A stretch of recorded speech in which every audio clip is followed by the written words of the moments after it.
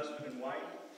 You've shown your love and affection by the joining of hands. You've made promises of faith and devotion each to the other, and have sealed these promises by the giving and receiving of rings.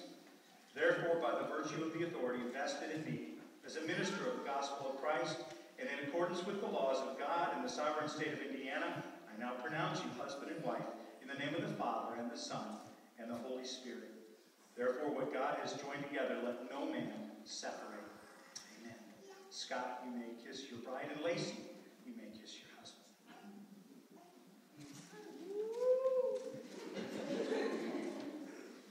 May the Lord bless you and keep you.